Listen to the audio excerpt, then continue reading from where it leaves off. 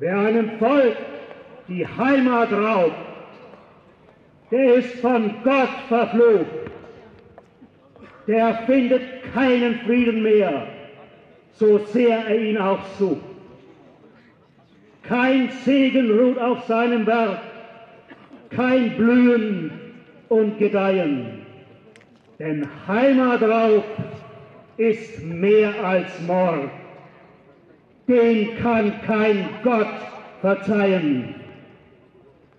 Und uns wird heute unsere Heimat, unser Deutschland in einer Art und Weise geraubt, wie es das in der Geschichte noch nicht gegeben hat. Wir kennen den Heimatraub durch Vertreibung, was unser deutsches Volk 1945 und 1946 erleben musste, als an 15 Millionen unserer deutschen Volksgenossen ein Vertreibungsvölkermord begangen wurde aus den deutschen Ostgebieten, die noch heute von unseren Feinden besetzt und im Deutschen Reich entrissen sind. Ein Drittel unseres deutschen Landes fällt noch immer. Und gerade deshalb müssen wir jetzt sagen, das bisschen Deutschland, das wir jetzt noch haben, dieses bisschen Deutschland muss allein dem deutschen Volk gehören.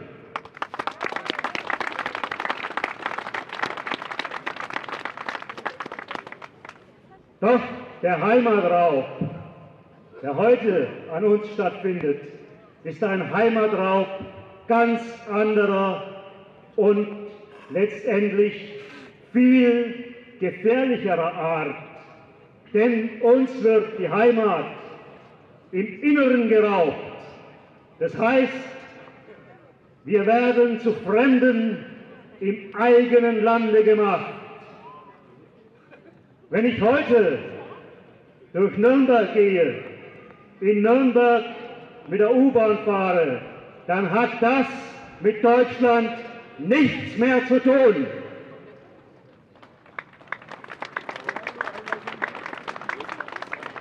Was hier geschieht, wird von immer mehr Deutschen als regelrechter Überfremdungskrieg gegen unser Volk empfunden. Und ich empfinde es genauso. Denn unser Land, das deutsche Land, muss unserem Volk gehören. Und unser Volk hat zu bestimmen, wer in unser Land kommen kann, bleiben kann oder nicht. Denn die Hausherren, das sind wir. Und das wird von denen vergessen, die glauben, uns diese Überfremdung aufzwingen zu können. Und hier dürfen wir nicht vergessen, dass wir uns noch immer im Kriegszustand befinden. Wir haben bis heute noch keinen Kriegs, noch keinen Friedensvertrag mit unseren Feinden. Und deshalb ist diese Überfremdungspolitik als kriegerische Handlung zu betrachten, die nach Völkerrecht strikt untersagt ist. Und eines dürfen wir dabei nicht vergessen. Diese Politik wird gemacht von einer BRD-Regierung, die keinerlei Legitimation besitzt.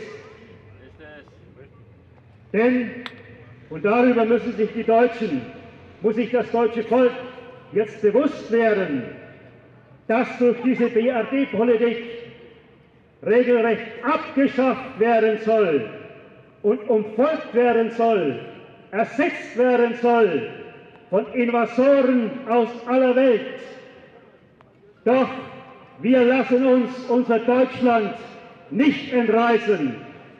Die BRD hat kein Recht, das deutsche Volk derart in seinem Willen zu übergehen. Denn die BRD hat, wie ich schon sagte, keine Legitimation. Es besteht immer noch völkerrechtlich fort das Deutsche Reich. Ja, so ist es. Ja. Die BRD verfügt nicht einmal über eine eigene Staatsangehörigkeit. Sofern ihr Personalausweise habt, dann schaut hinein, was steht dort bei Staatsangehörigkeit. Dort steht Staatsangehörigkeit Deutsch. Das ist natürlich Unsinn, denn es gibt keinen Staat des Namens Deutsch und eine Staatsangehörigkeit hat selbstverständlich den Namen des Staates zu nennen, der diese Staatsangehörigkeit bildet. Weshalb denn steht im BRD-Ausweis bei Staatsangehörigkeit nicht Staatsangehörigkeit Bundesrepublik Deutschland? Die DDR hatte das gekonnt. Dort hieß es Staatsangehörigkeit Deutsche Demokratische Republik.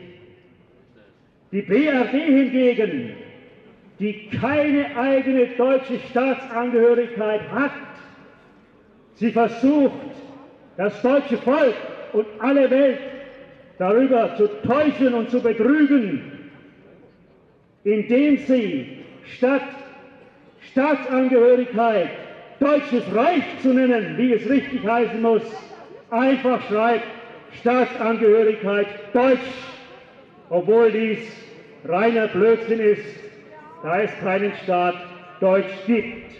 Und ihr, alle, die ihr hier steht, wenn ihr deutsche Staatsangehörige seid, so habt ihr die Staatsangehörigkeit des Deutschen Reiches.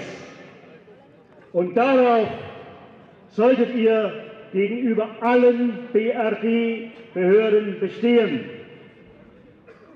Denn die BRD hat kein Recht, euch als Eigentum zu beschlagnahmen, wie eine Ware, wie ein willenloses Gut.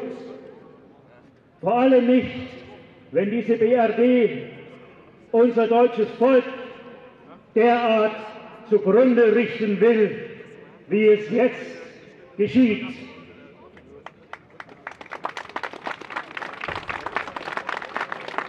Es wird als Vorwand für diese Überfremdungspolitik auf das Asylrecht verwiesen. Dieses Asylrecht bezieht sich auf den Schutz bei politischer Verfolgung. Doch wer von diesen, die da kommen, ist tatsächlich politisch verfolgt? Ich würde sagen, nicht einmal ein Promille. Sie kommen aus Begehrlichkeit.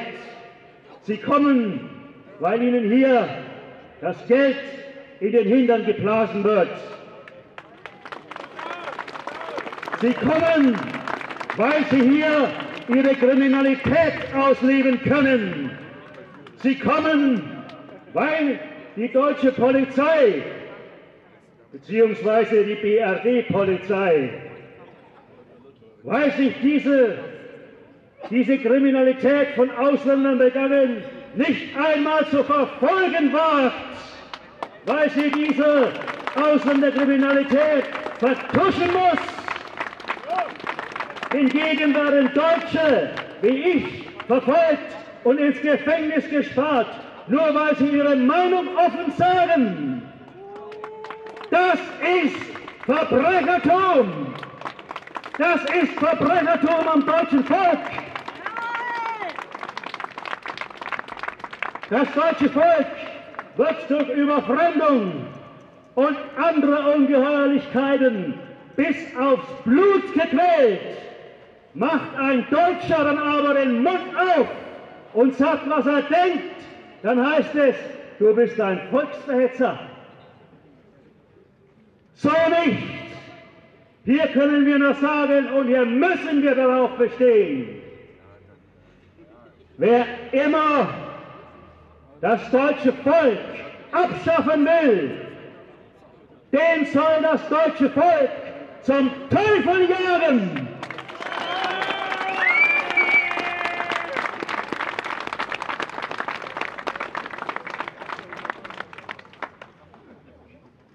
Ich hatte eingangs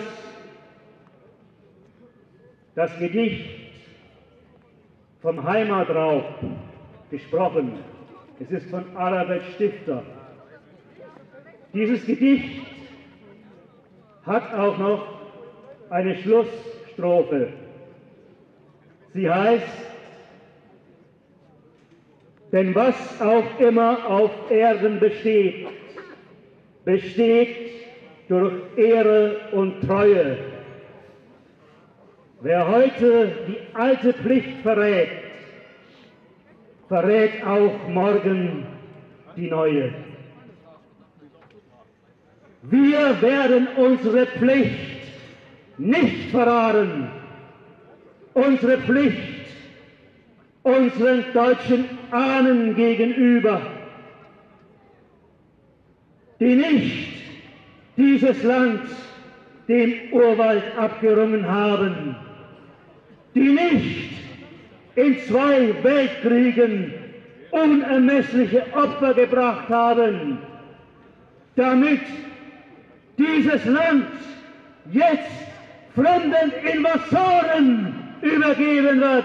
Nein, wir stehen in der Pflicht, dieses Land für uns und für die kommenden Generationen zu bewahren, als Deutschland, als das Land der Deutschen, des deutschen Volkes und niemandes sonst.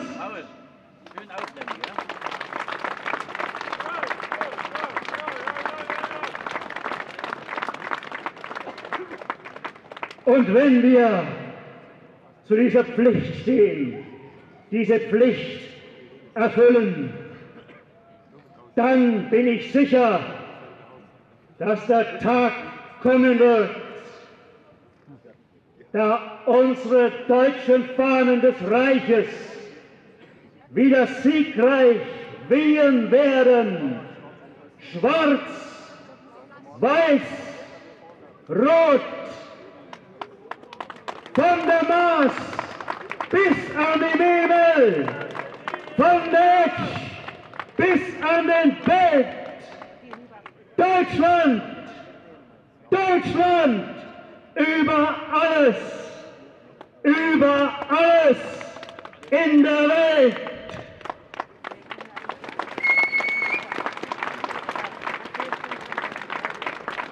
Deutschland, Vaterland, wir geben dich nicht preis. Danke euch.